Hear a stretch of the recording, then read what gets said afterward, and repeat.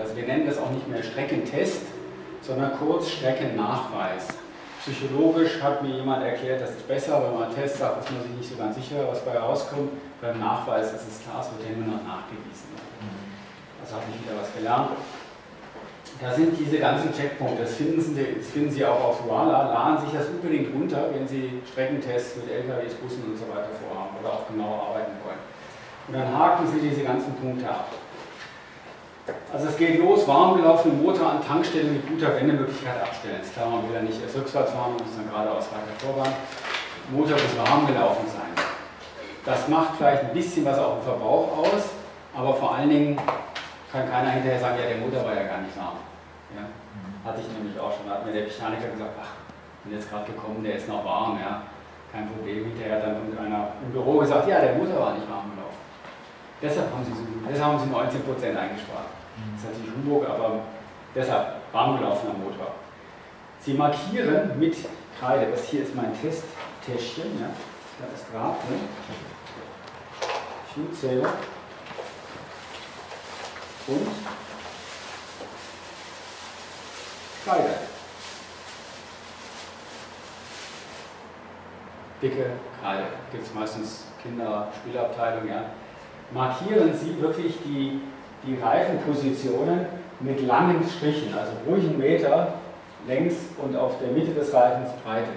An den, an den zwei Hauptachsen, wo das äh, Zugfahrzeug ist, ja, was die Bestimmung, also die Tankposition definiert. Ja. Den Hänger brauchen Sie nicht, das ist egal wie der steht, aber vorne die Zugmaschine.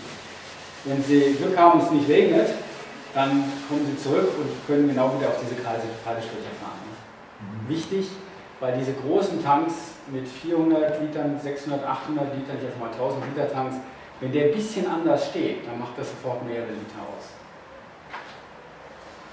Notieren den Kilometerstand, füllen dann praktisch dieses Formular aus, was ich Ihnen vorhin gezeigt habe, setzen Elektronikverbrauch, Tageskilometerzähler auf Null. Dann tanken Sie das, den Tank blasenfrei voll. Und während Sie das tun, kommen Sie mit dem Hammer also während der Fahrer, Sie lassen den, Entschuldigung, Sie lassen den Fahrer das Volltanken. Es ist wichtig, dass es die gleiche Person immer macht und immer eine Person des Unternehmens. Ja, zum Schluss sagt einer, ja, Sie haben ja vollgetankt, ja, wer weiß, was Sie da gemacht haben. Sagen, nein, das war der Fahrer. Aber am besten, der Chef da ist, soll der Chef selber volltanken. Ja, nachdem, manchmal machen die das. Und dann klopfen Sie von den Seiten und von unten, vorsichtig natürlich, nicht, dass Sie ein Loch einhauen, diesen Tank ab, sodass sich Luftblasen lösen. Es gibt bis zu drei, vier Liter Luftblasen. Die können an den Seitenrändern des Tanks sein, aber auch in den Zwischenblechen. Ja? Und das, das ist schwierig. Und wenn Sie das nicht machen, drei, vier Liter, das ist gleich hinterher Ihre Einsparung. Wenn Sie es nicht gemacht haben und diese Luftblase löst sich im falschen Moment, nämlich bei Ihrer Fahrt mit dem Fuel selber, dann tanken Sie vier Liter mehr rein und Sie haben kein Ergebnis. Ja, dann ist der Tag, äh, der halbe Tag umsonst und der Kunde wird wahrscheinlich sagen, also lassen Sie das gut sein, ich wusste ja schon, das ist Quatsch. Ja. Also es sieht ein bisschen komisch aus im Einzelfall, aber ich empfehle Ihnen dringend, das zu machen. Auf beiden Seiten, also wenn er zwei Tanks hat. Dann aber dann auf beiden Seiten. Sie kommen natürlich, ich kletter nicht, ich lege mich nicht unter das Auto und klopfe von den Innenseiten die Tanks ab. Das ist ein gewisses Restrisiko, aber damit müssen wir leben. Alle Verbraucher abstellen, also auch Klimaanlage. Abfahrtzeit, Witterung, in die Tabelle eintragen und also vor allem auch die, die Temperatur und direkt an der Autobahn. Manchmal sitzen die Unternehmen 15 Kilometer vielleicht von der Autobahn entfernt und sagen, das ist doch nichts. Sagen sie, okay, tanken Sie an der Werkstankstelle voll, ja, dann fahren wir zur Autobahn. An der Autobahn ist ja oftmals einmal eine Tankstelle an der Autobahnauffahrt, doch tanken wir wieder voll. Wenn Sie da voll getankt haben, kann das ja höchstens noch 1, 2, 3 Liter sein. Ja? Und wenn Sie die Differenzpreis, die Differenz 10 Cent, zahle ich Ihnen dann gerne für die 3 Liter. Ist denen dann auch egal. Aber setzen Sie sich da durch, ich habe es ein paar Mal gemacht, dass ich mich habe bequatschen lassen. Dann haben Sie die Werkstankstelle, die ist am Berg, so schräg, da kann man nie wieder ordentlich hinfahren. Prompt haben wir nur 4% eingespart. Ich bin mir sicher, wir hätten einen schönen Test gehabt, wenn wir gerade da gestanden wären. Ja. Sie sollen ja ruhig ran voll da tanken, dann zur Tankstelle an der Autobahn fahren. Sie sparen auch die Zeit durch den Ort, der muss keinen Nothalt machen, weil die Frau mit dem Kinderwagen kommt kein Traktor, der unterwegs fährt und so weiter, sodass sie direkt auf die Autobahn drauf fahren können. Das ist einfach schade, wie gesagt, ich spreche aus Erfahrung, äh, wenn Sie sich den Test dadurch verhunzen. Wenn Sie Motor abstellen müssen durch Stau, die Zeiten notieren, Motor abstellen. Wenn Sie Kolonne fahren, ideal sind natürlich drei Fahrzeuge. Zwei haben einen Fuel Saver dann bei der zweiten Fahrt, eins ist ein Referenzfahrzeug. Wenn Sie das hinkriegen, ist natürlich toll. Aber viele Unternehmen sind da zurückhaltend, die wollen nicht so viele Fahrzeuge abstellen und fahren. Bei Bergfahrt die langsamste Geschwindigkeit äh, notieren, weil da kann ja vielleicht die 80 oder 85 vom Tempomat nicht halten. Dann notieren Sie an dem Berg so und so Höhe sind bei 60 gefahren oder 50. Wenn Sie Glück haben, können Sie bei der zweiten Fahrt wieder das Tempo selbst bestimmen und haben keinen, der vorausfährt und noch langsamer ist als Sie. Ja? Und dann sehen Sie vielleicht, ah, statt 50 Kilometer bin ich jetzt 55 gefahren an der Stelle. Ah, das ist ja komisch, wie kann das denn sein? Ja? Das ist so ein kleiner Anhaltspunkt, wo der Fahrer vielleicht schon sieht, sagt, wow, also hier bin ich noch nie mit 55 hochgekommen. Zumindest nicht, wenn ich beladen war. Ja? Das ist ja komisch. Das dann, dann, die Fahrer hören auch manchmal, dass, dass der Motor schon ein bisschen runterläuft. Mindestens 30 Kilometer in eine Richtung fahren, dann wenden. Wenn Sie an der, an der Autobahn Ausfahrt, wo Sie auch gleich wieder auffahren können und wo Sie nicht zu viele Ampeln und, und Verkehrshindernisse haben. Ja? Es gibt Autobahnausfahrten, da müssen Sie vielleicht erstmal ein paar Ampeln kurven und so weiter, das ist natürlich schlechter, dann ist es wieder weniger vergleichbar, wie bei einer einfachen Ausfahrt.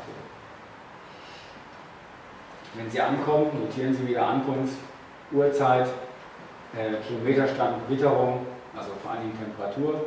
Wenn es zwischendurch geregnet hat, notieren Sie halt starker Regen nach so und so viel Kilometer in diesem Formular, Sie gesehen haben. Da war da eben im Formular auch Windgeschwindigkeit und äh, das Luftfeuchtigkeit. Ja, das haben Sie selten. Ich weiß nicht, woher die das hatten, die haben vielleicht eine extra Messstation gehabt oder so, ja. Das, die Werte habe ich also bis jetzt selten. Wenn Sie starken Wind haben, sagen Sie den Testfall Dann schauen Sie, es windet stark, äh, Böen, ja, das ist dann einfach nicht mehr vergleichbar. Wenn Sie regelmäßig Wind haben, der halt geht, ist das nicht so tragisch. Wenn es ein bisschen Nieselregen hat, auch nicht so tragisch. Wenn es stark regnet und böenhaft ist, lassen Sie es lieber. Fahren Sie genau wieder auf die Markierung. Der Fahrer, auch wenn Sie die Striche schön groß gemacht haben, das ist unheimlich schwierig, der sieht ja auch gar nicht so gut und der kann fast nie exakt auf die gleiche Position fahren. Und wenn der schon so ein Stück daneben steht, lassen Sie lieber rangieren im Moment, ja, dass der wirklich ziemlich exakt auf die Striche draufkommt. Ja. Also es ist, ist wichtig, dass Sie da wirklich gute Vergleichbarkeit haben. Ein paar Grad Neigungsunterschied bei einem 400 Liter Tank macht schon gar nicht aus. Ja. Jetzt bauen Sie den Fuel selber ein. Ich montiere den meistens schon. Sie können Zahnseile nehmen oder ich nehme einen Draht. Äh, zumindest für die Testfahrt ist das relativ einfach. Gucken Sie, dass der Fuel selber bis unten auf den Tank kommt. Das hören Sie dann. Ja? Und dass er richtig unten liegt. Und Sie sehen auch deshalb, jetzt, weshalb wir die asymmetrisch montieren hier, die Kabelbinder, äh, dass er wirklich Kontakt haben kann. Wenn Sie die Kabelbinder rechts und links montieren, dann hat er keinen direkten Kontakt zum Tankboden. Und das hat zumindest auf die Dauer positiven Effekte, direkte Kontakte auch. Also immer asymmetrisch die Kabelbinder montieren.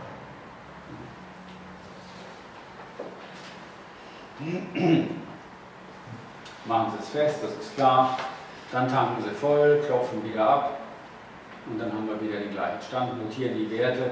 Wir machen jetzt immer noch ein Foto von der Tanksäule, das hinterher dann ganz klar ist. Also vom Füllstand auch? Ja, das ist meistens sehr dunkel, machen wir manchmal, aber meistens kann man nichts sehen, ja, weil es so dunkel da ist. Aber der Füllstand, wir merken uns die Nut oder irgendwas, gibt, meistens gibt es eine Markierung, zu der wir dann zusammen mit dem Fahrer und wenn es noch eine dritte Person gibt, zusammen reinschauen und sagen, ja, jetzt ist gut. Ja, so war es das letzte Mal auch. Ja, also dass man wirklich exakt die gleiche Position hat. Da müssen Sie dabei sein. Ich habe schon gehabt beim Test Leute, die es sehr gewissenhaft gemacht haben. Sag ich, Mensch, aber vorhin waren wir bei der NU. Oh ja, stimmt. Oh, Mensch, warum wir jetzt ein Schlauch? Wir müssen das abpumpen. Ja, die haben einfach das nicht richtig beobachtet. Ja, da müssen, sie müssen da dabei sein, da müssen sie sehr aufmerksam sein. Jetzt fahren Sie wieder die gleiche Strecke. Wenn Sie eine Pause machen wollen, pinkeln gehen wollen, was auch immer, können Sie das jetzt machen. Ja? Das schafft jetzt nichts, wenn der Moment da steht. Nicht ein paar Stunden, dass der Motor wieder kalt wird, aber wenn da im Moment Pause ist, ist das nicht so tragisch. Ja, ja ein bisschen laufen lassen, dass dann Eben, aber dann wieder, dann wieder Volltanken. Genau, wenn Sie es laufen lassen können, das ist ein guter Hinweis, dann haben Sie diese, diese 1, 2, 3 Liter, die im Filter sind und im System drin sind, haben Sie dann rausgewaschen. Nee, das Prozent sind Ja, ja, wenn ja. es knapp wird. Klar, wenn es knapp wird, ist das, ist das wichtig. Ne? So, jetzt wiederholen Sie genau das gleiche, die gleiche Prozedur, machen alles genau wie eben und dann kommen Sie wieder zurück, fahren wieder genau dorthin, Markierung, messen wieder genau, notieren alle Zeiten. Und dann haben Sie eigentlich äh, ein sauberes Ergebnis. Also ich würde sagen, unterdessen bei mir 90, 95 Prozent der Tests funktionieren. Schwierig, Zweitanksystem, da hatte ich jetzt ein paar schlechte Ergebnisse. Also einmal hatte ich 26 Prozent Einsparung, das scheint mir deutlich zu hoch zu sein.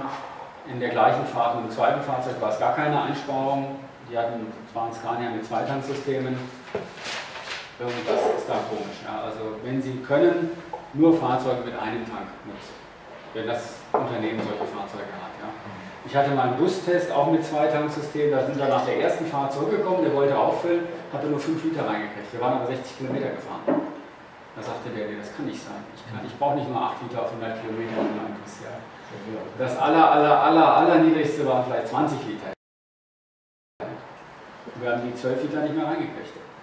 Der ist dann nochmal rumgefahren, vielleicht war noch ein Luftgas, haben wir nochmal 5, 6 Liter reingekriegt, aber das war irgendwie mit diesen Überläufen, wir wissen nicht genau, das ist kompliziert, ja.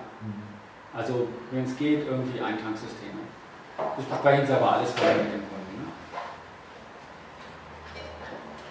Ja, und dann haben Sie eben mit ihm abgemacht, ihm schriftlich bestätigt. Idealerweise hat er Ihnen das auch unterschrieben, dass wenn der Test positiv läuft, im Schnitt über 5% oder beim einen Fahrzeug halt über 5% Einsparung, dass er Ihnen dann 5 Stück abkauft. Wenn, ich habe auch schon Tests abgesagt, wenn einer hat, nee, also das muss ich dann meinem Chef zeigen, dann gucken wir mal. Und ich sagte, ja sorry, also dann können Sie gerne einen kaufen, aber ich komme nicht zu Ihrem kostenlosen Test machen, wenn Sie noch nicht mal wissen, ob Sie fünf Stück kaufen können. Ja? Also eben wieder nicht mit dem Entscheider gesprochen und dann äh, darauf wollte ich mich dann nicht einlassen. Müssen natürlich, wenn Sie erster Kunde ist, wollen Sie es vielleicht trotzdem machen. Dann haben Sie natürlich immer dabei eine Zange zum Abknipsen des Drahtes, die Fuel Saver, das ist klar, zur Sicherheit noch ein paar Kabelbinder, die Kreide, Zahnseide und den Fuel Saver nicht vergessen. So, was habe ich hier noch? Hier habe ich für Pkw Sondersituationen noch was. Das kommt nicht richtig raus. Das ist ein Antennenkabel, Quarkskabel. Und Jetzt kommen wir zu Ihrer Frage zurück. Sie haben das jetzt in Ihrem Caddy drin und Sie ziehen und kriegen es nicht wieder raus. Mist. Was machen Sie jetzt? Aber jetzt wollen Sie das Auto verkaufen. Ja? das. Kaufen Sie so ein Kabel, gibt es für wenig Euro äh, an jedem Markt zu kaufen. Machen damit die Klappe unten auf und müssen halt ein bisschen spielen. Damit Sie dann da, das ist eigentlich eine gute Möglichkeit. Aber jetzt habe ich es nicht verstanden, das mit der, wo Sie es erklärt haben, dass Sie es asymmetrisch befestigt haben. Mhm. Ja, ähm, wenn der jetzt ein paar Millimeter vom Tankboden hat, was macht das aus? Also wenn ich jetzt die Kabelbinder links und rechts festmachen würde, dann hat er also praktisch ein, zwei Millimeter Abstand zum Tankboden. Also der Hersteller hat mir auf diese Frage hin gesagt, äh, es ist nicht nur wichtig, dass er immer am Treibstoff liegt, das wäre es ja auch, wenn er sagen wir, mal einen Millimeter über dem Boden wäre, sondern der direkte Kontakt ist wichtig. Also ich gehe von- davon aus, dass dieser direkte Kontakt auch noch für die Übertragung dieser Schwingung auf das ganze Tanksystem Beim LKW mit, äh, mit Blechtank könnte ich das verstehen, aber beim PKW mit Plastiktank. Er sagt, das Material spielt keine Rolle. Ich kann das jetzt nur so wiedergeben. Äh, Es ist natürlich nicht wissenschaftlich untersucht. Wenn Sie eine Universität haben, die das mal untersuchen will, kann man das gerne tun. Ja? Ähm, aber äh, es ist, ich, ich nehme mal die Aussage des Herstellers äh, für einen Erfahrungswert und äh, er empfiehlt eben diese Montage so, dass die Kabelbinder auf einer Seite sind und dann ein direkter Kontakt zu dem Tankboden, egal ob es Plastik ist oder Metall, vorhanden ist. Das könnte bei mir ein Fehler sein, was ich gemacht habe. Ich habe nämlich den, den Draht vorne rum so umgebogen. Ja, es sollte trotzdem natürlich funktionieren. So funktioniert es vielleicht besser. Nur, dass Sie wissen, für die Zu ich habe es am Anfang auch falsch gemacht und dann hat er dann gesehen, sagt er, du machst das ja falsch. Sag ich, wieso? Ich habe doch zwei Kabelbinder drin. Sagt er, ja, aber ich habe doch das so gemacht. Also Mensch. Und äh, wie gesagt, das ist ein Detail, es sollte trotzdem funktionieren. Wenn Sie, bei Ihnen ist vielleicht wichtig, aber Sie haben ja gesagt, Sie haben es gehört, aufschlagen. Es kann natürlich sein, dass es irgendwie zum Teil sind das wie Skulpturen, diese Tanks, oder es sind zwei, drei Tanks, die durch Pumpen miteinander verbunden sind. Und wenn Sie da irgendwo an der Seite, haben Sie vielleicht auch eine Seitenwand gehört, an der er aufgekommen ist. Und Sie denken, ah super, ich bin unten. Ja, das hatte ich nicht bei meinem Citroën. Ich schaue es nochmal aus.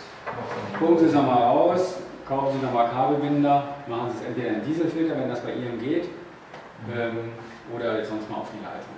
Gucken Sie. Und lassen Sie dann halt mal ein paar Tankfüllungen draußen, dann sehen Sie ja, verändert sich was im Verbrauch oder nicht. Und wenn Sie merken, es verändert sich nicht, dann war offensichtlich bei der Installation was falsch. Funktionieren tut er immer. Ich habe schon Kunden gehabt, die mir das zurückgeschickt haben, ich habe selber getestet, einwandfrei funktioniert. Dieser hier, just dieser XL, hat einer gesagt, oh, der funktioniert nicht, das ist Fehler. Ich sage, schick's mir zurück, kriegst einen neuen. Ist die Einsparung von dem eigentlich dann auch wieder größer beim Pkw als Ja. beim M? Ja. Ungefähr pro Größe ungefähr 5 bis 8 Prozent mehr Einsparung, sagt der Hersteller. Ich habe darüber keine Messwerte gemacht. Wäre mal interessant. Also ich mache es jetzt gerade bei mir im jetzigen Audi, dass ich mit dem M angefangen habe. Und dann will ich den XL reintun. Aber äh, es ist, ähm, der Hersteller sagt, es ist ein deutlicher Unterschied. Ich meine, das wäre ja zumindest mal äh, gutes Verkaufsobjekt, wenn man es jetzt wagt, dem Kunden das so zum Testen zu geben, weil wenn man das beim Pkw dann nicht merken würde, dass jetzt plötzlich dann ein erheblicher Unterschied entsteht, bevor ich mir ganz kleinen für 79 Euro gibt. Ja, wir fragen natürlich oftmals Kunden sagen, ja, wie ist es denn, wenn ich zwei S nehme, habe ich dann nicht mehr Effekt als mit einem M? Aussage des Herstellers, nein, vielleicht sparen Sie ein, zwei Prozent mehr, aber wenn Sie mehr sparen wollen, dann nehmen Sie lieber ein M. Oder ein L oder ein XL, je nachdem, und nicht zwei von der kleineren Sorte. Natürlich kann einer, wenn einer 100 PS hat, auch ein S machen. Gibt es auch so Leute, die werden auch was einsparen. Aber der M ist besser. Natürlich spart mehr. Wie gesagt, ich biete es den Kunden meistens an, wenn einer eben so 300 PS hat, sagt, ja, so, und ich merke, er tut sich schwer mit 595 Euro, dann sage ich, also schauen Sie, nehmen Sie mal den M, testen Sie es, wenn Sie zufrieden sind, können Sie ihn umtauschen gegen L, da sparen Sie nochmal mehr und gegen Aufpreis ich Ihnen dann L zu. Ein bisschen Handlingsaufwand, aber der Kunde ist erstmal zufrieden. Normal müsste ja eigentlich auch die Tankgröße Einfluss haben. Das heißt also, wenn ich mit einem Fuel Saver zum Beispiel, mal angenommen, der eine Tank hat da 20 Liter, der andere hat 80 Liter Fassungsvermögen. Der müsste doch eigentlich dort, wo der 20 Liter Tank drin ist, mehr sparen, weil die Intensität der Einwirkung auf das kleinere Volumen dann intensiver ist. Ja. Ja, das ist sicherlich so. Denke ich auch, dass das äh, einen gewissen Effekt hat. Aber ich denke, der Haupteffekt ist die Durchflussgeschwindigkeit. Also wie viel der wirklich braucht. Aber ich sag mal, man müsste eine Universität haben, die dann sagt, okay, fünf Studenten, fünf Fahrzeuge, wir testen jetzt mal alles rauf und runter oder Motorprüfstand, Alles klar. äh, dann werden wir das sicherlich tun, ja. Oder wir müssen halt die Tests, soweit wir können, selber machen. Wir hatten heute Morgen schon mal den Standtest für LKWs erwähnt.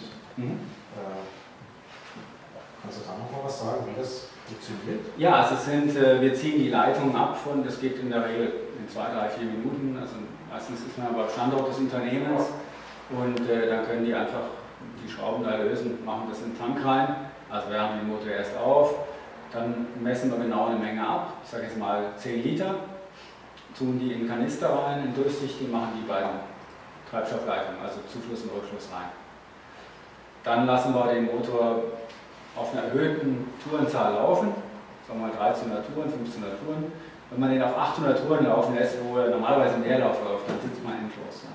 Da hat man keine Spaß. Keinen Also man hat eine definierte Spritmenge Definierte und Spritmenge. lä- lässt die einfach leer laufen. und dann- Ja, nicht auf Null, weil wenn der Luft zieht, ist es nicht schlecht. Also es sollte, man sieht jetzt, es wird langsam weniger und sagt man, okay, jetzt haben wir äh, von den 10 Litern haben wir jetzt sagen wir mal 8 Liter Und äh, in einer? Viertelstunde weggesoffen. Ja, oder 20 Minuten ist aber okay, Stopp, eher leer ist, ja, Mhm. dann schütteln wir den Rest, der drin ist, aus, messen das exakt aus und messen dann den Teil.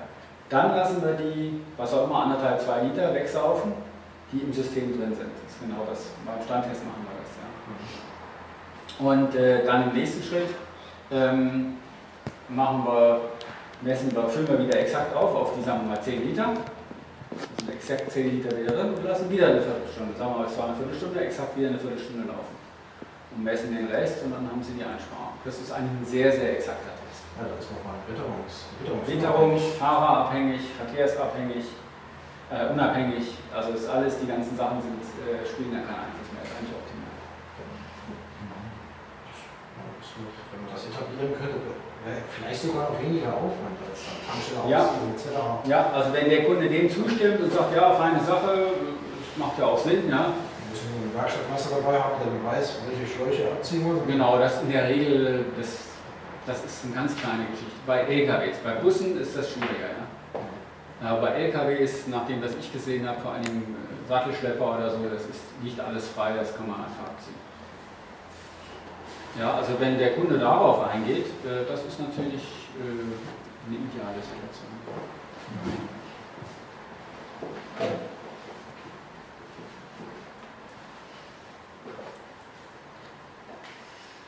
Gut, haben Sie weitere Fragen zum Testen mit dem LKW? Sie können das natürlich auch so präzise mit dem PKW machen. Sie lassen sich dann unterschreiben vom Fahrer und äh, vom Betreuer, notieren Herstellertyp, amtliches Kennzeichen. Ist dann immer schön, noch ein Foto zu machen. Das machen wir dann mit auf die, auf die Dings drauf, auf die Auswertung drauf. Ideal natürlich mit dem Fahrer oder dem Chef oder wie auch immer. Und wenn Sie jetzt, wenn ihr Ihnen jetzt einen Fahrer schickt und sagt, hier ist der Fahrer, der fährt jetzt mit Ihnen, dann gucken Sie, dass der Chef zumindest beim Auftanken mit dabei ist. Ja? Weil wir hatten es auch schon, dass jemand gesagt hat, oh, wie viel hast du denn dem Fahrer gegeben? Ja, weisen auch die Kunden darauf hin, sagen Sie, geben Sie mir einen Fahrer, am besten einen Werkstattleiter, dem Sie vollständig vertrauen. Ja, wieso denn? Ja, dann, ich habe gerade schon gehört, dass einer gesagt hat, na, hast du den Fahrer bestochen. Ja? Ähm, insofern am besten ist natürlich mit dem Chef, da kann man mit dem auch ein bisschen quatschen während der Fahrt, das ist immer gut. Nicht zu viel quatschen, sonst fällt er an der Ausfahrt vorbei, hatten wir auch schon. Den haben wir dann so verquatscht, aber er sagt, hey, hätten wir da nicht rausfahren sollen? Oh, ja, stimmt. Ähm, also, ja, ist schon schön, sich zu unterhalten, auch zu gucken, hört man was am Motor, verändert sich was an der Drehzahl, es gibt wohl zum Teil lastabhängige Kupplung, keine Ahnung was, die Betriebe, die dann irgendwie die Drehzahl noch verändern. Äh, was sieht man an der Elektronik? Elektronikverbräuche immer mitnotieren, wenn man das kann. Äh, in der Regel ist die extrem unzuverlässig, aber das ist dann gut, dass man das zeigen kann. Sagen, schauen Sie, Elektronik hat jetzt zweimal 18 Liter gezeigt. Wir haben einmal 20 Liter gebraucht, dann 15 Liter, ja. Sehen Sie? Oder was weiß ich, der jetzt sein mag, ja. Dann sieht er auch, ah, okay, die Elektronik ist nicht so präzise, dafür ist die auch gar nicht ausgelegt, ja. Die wollen ja nicht auf Milliliter genau das messen, da geht es ja um Tendenzen. Ist der jetzt, braucht er tendenziell mehr oder weniger, da geht es ja nicht um, in der Regel um absolute Werte hinter, dem, hinter der Kommastelle, sondern es geht wirklich um, um, um Tendenzen. Ja. Und wenn der Fahrer jetzt aber mal viel mehr braucht, ja, im Vergleich zu vorher, dann holt man ihn sich an, was ist denn da passiert. Hast du geklaut oder sagt er, ja, nee, wir hatten, keine Ahnung, Riesenproblem und äh, Stop and Go, halben Tag lagen und deshalb, ja. Aber dann hat das Unternehmen eine gute Möglichkeit, da zu schauen, wie sich die Dinge entwickelt haben. Aber das ist ja eigentlich nicht dafür gedacht, eine super exakte Messung des Verbrauchs zu machen. Deshalb liefern wir immer auch aus, auch beim Pkw. Gibt es einen Unterschied zwischen der normalen Messung, das ist also wie es jetzt hier vorgeschrieben ist, Autobahnstrecke gleiche Vor- und Nacheinbau, äh, oder, oder wenn der Spediteur äh, einfach seine Routen fährt, die, die auch verschieden sein können. Ja, eben darauf habe ich ja hingewiesen am Anfang. In der Mhm. Regel wollen die Spediteure das immer. Ja. Und ich lasse mir dann eben die Fahrzeugdaten schicken. Die Mhm. meisten haben keine oder finden sie nicht. Bei großen Speditionen schon gesehen, ja, das hat mein Sohn oder der ist da hinten, da ist dann so ein Stapel Papier, da hat man so ein Packen Papier, da kann man dann durchsuchen, da fehlen dann ein paar Monate und irgendwie Mhm. also Manche haben es natürlich schön computerisiert, dann lassen sich das geben, computerisiert und werten das exakt mit dem Kunden aus und zwar selber am besten. Wenn er, es, er hat die Ja. Auswertung nicht, er kann das auch nicht, dann werten sie das exakt aus. Weil, weil mein Spediteur, der, der hat ihm das vorgeschlagen, aber aus Zeitgründen hat er das nicht gemacht. Ja, viele Weil, weil er ja dann zwei, drei Stunden aus seinem Ja. Betrieb raus ist Ja, und deswegen hatte er das abgelehnt. Ja, Ne? das gibt es, das sehen wir immer wieder. Ähm, ich kann das jetzt hier leider nicht zeigen, da müsst ihr erst PDFs machen und so weiter, Ja. aber ich kann Ihnen das hier zumindest auf dem, auf dem Computer mal zeigen, welche Analyse wir da machen. Wenn die gute Daten haben, dann stimme ich dem zu. Die können ja immer sich das kaufen und selber einbauen. Manche Kunden sehen das auch, gar kein Problem. Ja? Äh, in der Regel Kunden, wo der Fahrer nicht klaut und wo er präzise Tankaufzeichnungen macht. Viele haben Tanksysteme, da stecken sie eine Karte rein, die müssen genau die Kilometerzahl eintippen. Da kann man sich auch mal vertippen, aber das gleicht sich ja dann mit der nächsten Betankung wieder aus. Und dann registriert die Karte automatisch, wie viel Liter die getankt haben. Diese Daten kriegt man meistens, ja, wenn sie an der Werkstankstelle tanken. Viele tanken aber dann vielleicht nochmal, bevor sie zurückkommen, nochmal außerhalb, weil sie sonst nicht zurückkämen. Und äh, da haben wir jetzt also, äh, ich versuche das gerade mal zu finden. Hier ist jetzt ein Beispiel, wie gesagt, tut mir leid, dass ich das nicht zeigen kann. Das ist eben das eine Unternehmen, was gesagt hat, ja, ja, also wir haben immer gleiche Strecken, gleicher Fahrer, gleicher LKW, fast immer gleiche Beladung, ja. Wir haben extrem stabile Verbräuche. Ich kann dann gleich mal schauen. 15% Standardabweichung. Das ist unheimlich viel. Das heißt, die Werte schwanken um 30 Prozent. Und da habe ich schon geglättet mit Hand. Also so offensichtliche Fehler, wo der mal 15 Liter hat und dann 55, habe ich dann schon zusammengefasst gesagt, weil das ist klar, das hat einer nicht richtig vollgetankt. Wahrscheinlich Freitagnachmittag oder der LKW musste schnell wieder raus, haben die nur das Nötigste vollgetankt und dann ging der wieder raus. Ja? Dann kommen solche Kurven bei raus. Das ist ein, ein fürchterliches Durcheinander. Ja? Trendlinie steigen, keine Ahnung, wieso der steigende Verbräuche hat im Fahrzeug. Also das ist jetzt ein normales Tagesgeschäft. Das ist jetzt normales Tagesgeschäft. Ja. Extrem schlechte Werte. Ja? Ich weiß nicht, woran es liegt. Ich vermute, es hängt mit Ein Fahrzeug jetzt einem Fahrzeug, immer der gleiche Fahrer, sagt bis auf die Urlaubszeiten, es ist immer der gleiche Fahrer. Ja. Sind das die Auswärtstankfüllungen, die nur so knapp bemessen werden, dass er noch nach Hause kommt? Nee, das Das ist wäre also unkritisch, weil über zwei, drei Werte würde sich das wieder neutralisieren. Ja? Wo ich diese starken Schwankungen gesehen habe, habe ich das schon auch mit Hand im Excel neutralisiert. Ja? Trotzdem, ich weiß es nicht genau. Ich vermute, es hängt irgendwie mit den Überflüssen zusammen. Ich kann es Ihnen nicht genau sagen. Oder dass die einfach extrem schlampig auftanken. Ja? Wir haben zwei Tanks. Den zweiten zu betanken ist extrem schwierig. Dann muss der durchreichen. Ja, da hinten steht natürlich keiner, er ist ja alleine. Da muss er gucken, dass dieser, dieser Zapfhahn nicht umkippt und dann alles rausläuft. Und dann muss er rumlaufen und dann den zweiten Tank. Und also, ich kann es nicht sagen. Wir wissen es nicht. Die wissen es selber auch nicht. Wir wissen keine Ahnung. Sie sehen ja steigende Verbräuche von hier, was haben wir, unter 35, sagen wir 34 Liter auf knapp 40 Liter Schein, in der, in der, in der Trendlinie. Ja? Ähm, dann habe ich hier ein, 10 Perioden, also 10 Betankungen immer zusammengefasst, das ist diese Linie. Ja? Die ist immer noch extrem schwankend. Ja? Ich bin mal sehr gespannt, ob wir da im Langfristtest äh, überhaupt zu einem vernünftigen Ergebnis kommen. Ne? Das sind also, aber das sind extrem schlechte Werte. Ich habe auch schon Busbetrieb Basel gesehen, die haben nur 5% Standardarbeitung. Das ist ein recht, da schwanken die 97% der Werte innerhalb von 10%. Das ist relativ ordentlich. Ja? Da kann man wirklich schon gut mitarbeiten. Da sollte man eigentlich, wenn jetzt nicht extreme Sachen kommen, sollte man schon was sehen. Man kann ja dann, wenn man fünf Fahrzeuge hat, deshalb unter anderem auch die fünf Stück, ja, dann kann man noch mal gegen den Rest der Flotte vergleichen. Wenn ich gegen den Rest der Flotte vergleichen kann, wenn ich die Werte habe, hier habe ich sie nicht und ich gebe jetzt auch nicht 30 Fahrzeuge ein, weil das ist wirklich arbeitsaufwendig, ja, dann kann ich vielleicht sehen, ja, warte mal, die ganze Flotte ist um 10% hochgegangen, ja, vielleicht durch Wettereinbruch oder und sowas. Ja. Und unsere Fahrzeuge sind vielleicht konstant geblieben, da haben wir eigentlich eine Einsparung von 10% gehabt. Ja. Aber wenn man nur die Werte anschaut, sagt er, ist ja gleich geblieben. Aber das sind alles, äh, da steckt der Teufel im statistischen Detail. Also, also manche Mitarbeiter sind ja auch frustriert heutzutage, sind mit der, mit der Arbeit nicht zufrieden und denken vielleicht, ach, wir machen mal Spaß. Das ist schon nochmal falsch. Ne? Irgendwas oder Mhm. fahren schneller, also wenn er ein schlechtes Ja. Wochenende hatte, fährt Ja. er vielleicht wie Rambo, ja. Ja. Äh, und der andere ist vielleicht ganz entspannt und fährt äh, Ja, ganz sachte und das macht extrem, also eben, Ja, haben wir ja ja. gesehen, das macht 15, 20 Prozent schnell aus. Ein entspannter Fahrer, das sagen, uns, sagen ja auch alle Chefs, die selber fahren. Sagen, ich fahre, ich brauche maximal Ja. 40 Liter, Mitarbeiter 42, 43, 44 Liter. Ja. Man, man merkt es ja am, am Ecometer, auf dem Pkw. Ich kann so fahren, dass ich äh, 6 Liter verbrauche, ich kann äh, richtig auf die Tube drücken, dann verbrauche ich 11 Liter oder 12 Liter. Naja. Ne? Gut, beim LKW habe ich dann irgendwann eine Geschwindigkeitsbegrenzung, ich kann nicht schneller als 89 fahren, ja. Mhm. aber ich kann natürlich sonst ruppig fahren. Wenn ich Genau. Lieferverteilverkehr Ja, habe, ja, ich bin neulich mal im, im Bus in Berlin gesessen, zum Flughafen raus, ja. ja. Ich dachte, der wollte irgendeinen Weltrekord fahren, Ja. äh, dieser Fahrer. Also der ist gefahren ja, wie die Sau, ja. ja. Und dann fahren die, die dieser Tätigbus ist ja ein bisschen kleiner, der fährt dann noch richtig, ja, dann ist der, wahrscheinlich war der hinten dran und musste versuchen aufzuholen, ja. Der ist wie folgt gefahren, als ob er Wettrennen, mitten im Berufsverkehr. Ja. Dass da nichts passiert, ist ein reines Wunder. Ja. Ein anderer Fahrer, der vielleicht entspannt fährt, gut, der braucht dann drei Minuten länger, Ja, ja. ähm, der hat natürlich ganz andere Verbrauchswerte. ja auch so viele Einflüsse. An- Angenommen, ist Zigarettenraucher und macht fünf Minuten Pause, lässt aber den LKW laufen.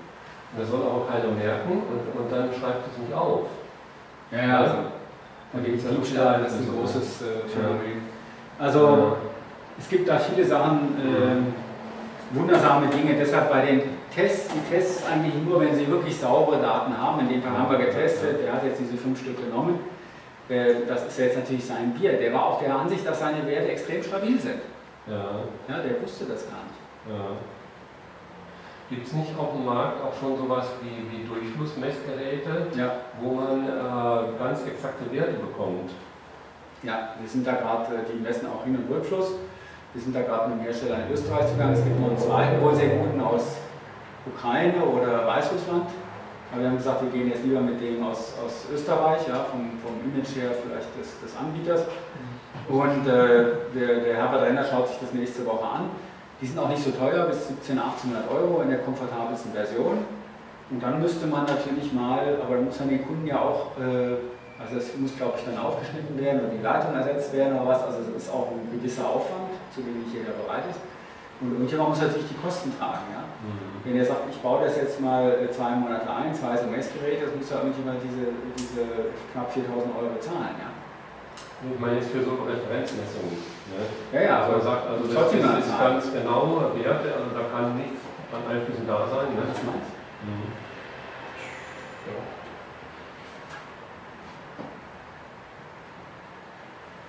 Da sind wir dran. Da versprechen wir auch einiges davon. Also das Ja, ist dieser große Handelskonzern, auch die Wiener Verkehrsbetriebe, die haben langfristig diese Daten gesehen und beobachtet. Aber es gibt auch Unternehmen, die sagen, na, wir sehen nichts. Wie gesagt, wenn wir dann die Daten kriegen, dann können wir selber analysieren. Und oftmals können wir dann nachweisen, sagen, ja, das hat doch funktioniert. Ja.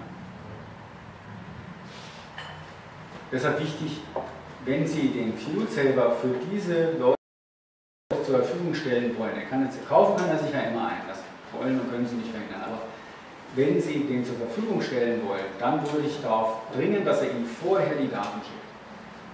Sagt bitte hier Daten, ja, ob das überhaupt Sinn macht. Dann können Sie statistisch ein bisschen Einblick verschaffen, ob da überhaupt eine Chance ist, dass der was Vernünftiges sieht. Klar, auf lange Dauer, aber auf lange Dauer hat der Fahrer gewechselt, ist am Motor was verändert worden, sind neue Reifen drauf, aber da verändert sich wieder alles. Ja. Mhm.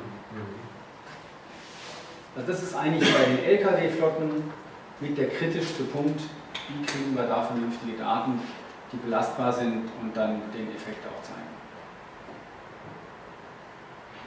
Pkw kein Problem. Also ist, was heißt kein Problem? Mag es den einen oder anderen geben, der es auch nicht sieht, aber im Wesentlichen haben wir bei den Pkw saubere Verbrauchswerte.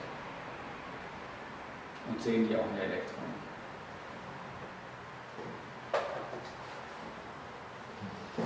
Gut, haben Sie noch weitere Fragen oder Anregungen?